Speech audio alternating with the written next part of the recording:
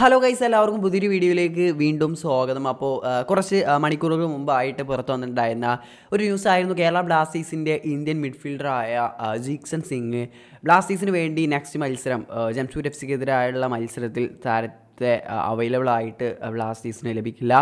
താരം ഇന്ത്യൻ ടീമിനോടൊപ്പം ചേർന്നിട്ടുണ്ട്. ഇന്ത്യൻ ടീമിൽ ചേരാൻ വേണ്ടി താരം ട്രാവൽ ചെയ്തിട്ടുണ്ട്. ചൈനയിലേക്ക് ട്രാവൽ ചെയ്തിട്ടുണ്ടെന്ന് ന്യൂസൊക്കെ പുറത്തു വന്നിട്ടുണ്ടായിരുന്നു എല്ലാവർക്കും അറിയാം.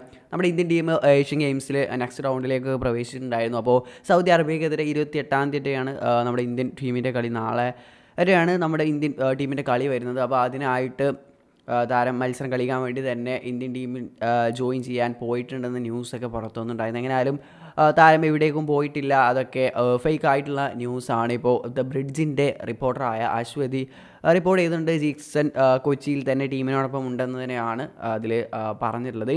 അപ്പോൾ ആ ന്യൂസും കാര്യങ്ങളൊക്കെ വെറും ഫേക്ക് ആയിട്ടുള്ള ന്യൂസാണ്. ജീക്സൺ എവിടേക്കും പോയിട്ടില്ല. ജീക്സൺ ബ്ലാസ്റ്റേഴ്സിന്റെ ടീമിനോടൊപ്പം തന്നെ ഉണ്ട്.